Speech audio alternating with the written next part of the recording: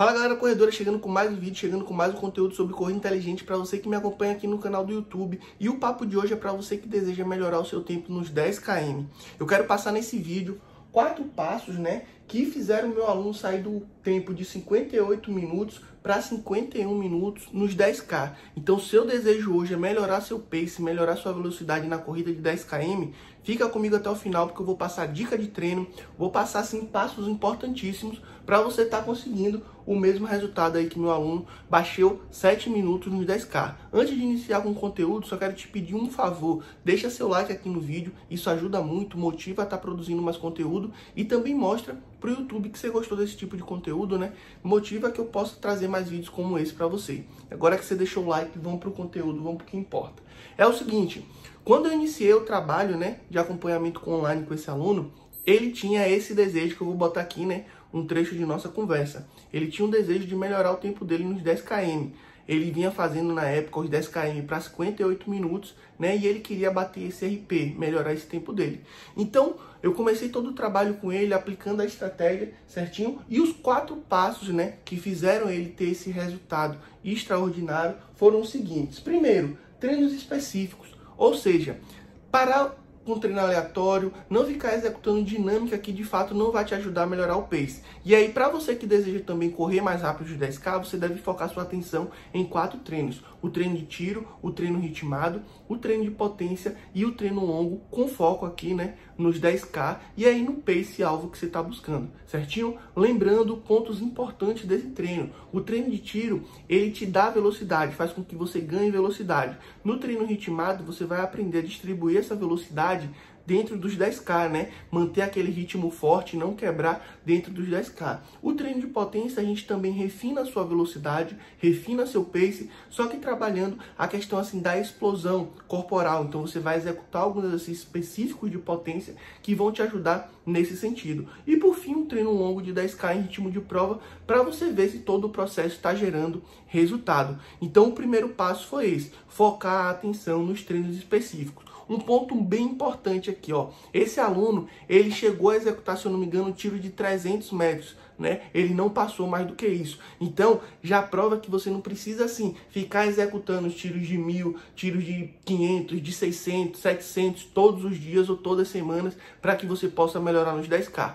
Como eu sempre falo, quando eu cito aqui treino de tiro, é melhor você fazer tiros de distâncias menores, dependendo do seu objetivo e do seu nível, é claro, mas assim, com qualidade. Então, uma coisa que a gente trabalhou muito dentro do treino de tiro foi manter as parciais, né? manter a qualidade entre as repetições, certinho? Treino longo, ele chegou a fazer um treino de 15 e o resto nós ficamos ali em 12 km e treino de 8, 10k, tá? Por que eu tô falando isso? Porque o segundo ponto é justamente o controle do volume semanal. Esse meu aluno, ele é pai, né? Trabalha também assim na área da saúde, então ele tem uma rotina puxada com relação do trabalho. Então não tinha como eu ficar passando para ele também, não tem porquê treinos na semana de 15, de 18, de 20, né? Toda semana é isso. Então, assim, um controle do volume semanal, focando, como eu já falei no ponto 1, nos treinos específicos, ajudou bastante ele. Então, galera, mais uma vez eu ressalto aqui, é mais importante você executar treinos bem feitos do que você ficar focando num volume alto de corrida e executar de qualquer forma. Ou, por exemplo, você tem um, coloca um treino alto, um treino de 15 km com rodagem, sendo que você não domina isso. É bem melhor você fazer um ritmado, né? Só dando um exemplo aqui, não que um vá um treino longo vá substituir, ser substituído por um ritmado. Mas assim, você fazer um ritmado ali de 8K, jogando duro na intensidade que tem que fazer, respeitando o descanso, respeitando o pace, se for assim, entendeu? Só para você ver que assim, é, faça os treinos bem feitos. Resumidamente é isso que eu quero falar. Então assim, controle do volume semanal foi o segundo ponto. Terceiro passo, simplificação do processo. Então, como você viu até aqui, quatro treinos na semana, treinos até 12 km, né? Quatro treinos específicos. O aluno ele não precisou ficar gastando energia para dominar vários tipos de treino. Ah, treino de potência na aeróbia, treino de potência aeróbia, treino de ladeira com não sei o que, treino de tiro em rampa. Não, quatro treinos simples, né? treino de tiro, ritmado, treino de potência e o treino longo no fim de semana em ritmo de prova quando necessário. Simplificação do processo. É isso que você precisa para estar evoluindo. Em outras palavras, faça o básico bem feito, né? O básico bem feito funciona. Então é isso que eu quero mostrar aqui para vocês tá bom? E o quarto e último ponto foi a questão do fortalecimento e mobilidade. E isso aqui é muito importante porque as pessoas pensam o seguinte: ah, meu foco agora é correr mais rápido, eu vou esquecer o treino de fortalecimento. Então, sempre que possível, eu passava para ele alguns exercícios de fortalecimento, mobilidade articular, fortalecimento para deixar o corpo dele forte e livre de lesões, certinho? E a mobilidade articular para cada vez mais está gerando eficiência no ato de correr. Então é uma forma também assim de você melhorar o seu pace, de você melhorar a velocidade, você correr melhor, gastando menos energia, entendeu? Então é importante, isso daqui de certa forma está na essência do processo de ganho de velocidade. Ter um corpo forte que aguente o tranco dos treinos intensos de velocidade, né? Os treinos específicos que eu falei aqui e ter uma boa mobilidade, seu corpo trabalhar bem, seu corpo correr bem, ter eficiência no ato de correr.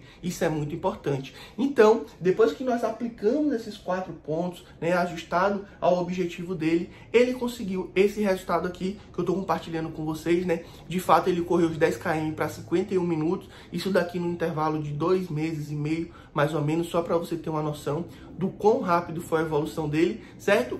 Tudo isso quando você segue assim os pontos específicos, né? Os pontos importantes, quando você faz as dinâmicas como elas devem ser executadas. Então, queria trazer esse resultado, queria trazer esse passo a passo para que você pudesse entender o seguinte: não precisa complicar, não precisa inventar. O que você precisa é focar naquilo que dá certo. E para finalizar o vídeo, você que chegou aqui até esse ponto, eu quero te fazer um convite muito especial. Se o seu desejo hoje é melhorar o seu pace, a sua velocidade dentro dos 10 km, eu quero te dizer que eu tenho um método V4. Eu criei esse método para que você possa estar evoluindo né, com relação à velocidade de forma segura, livre de lesões. Então, dentro do método V4, você tem acesso a 31 treinos né, divididos da seguinte forma treino de fortalecimento e mobilidade articular. Depois você tem uns treinos para refinar um pouco a sua resistência, né? Você precisa dessa base de resistência para estar tá treinando de forma mais intensa. No terceiro momento, no terceiro ciclo do método V4, você já entra com os treinos de velocidade e por fim, você tem a fase de polimento. Então, todos esses treinos organizados, distribuídos, já planejados, você vai ter acesso dentro do método V4, além de rotina de mobilidade articular, né, para preparar seu corpo para cada treino, saber como aquecer, como alongar. Então, eu quero te fazer esse convite. Quer de fato melhorar seu pace, está evoluindo assim como esse meu aluno? No primeiro comentário fixado, eu vou deixar um link com todas as informações do método V4. Lembrando um ponto muito importante, você tem meu suporte pelo Instagram. Então assim, se você adquirir o método V4, né, você não vai ficar sozinho dentro desse processo. É só me chamar pelo Instagram se tiver qualquer dúvida, dificuldade, que eu vou te ajudar da melhor forma possível. Então quer melhorar o tempo nos 10K, correr mais rápido essa distância? Confere o link do método V4 no primeiro comentário fixado. Valeu, tamo junto.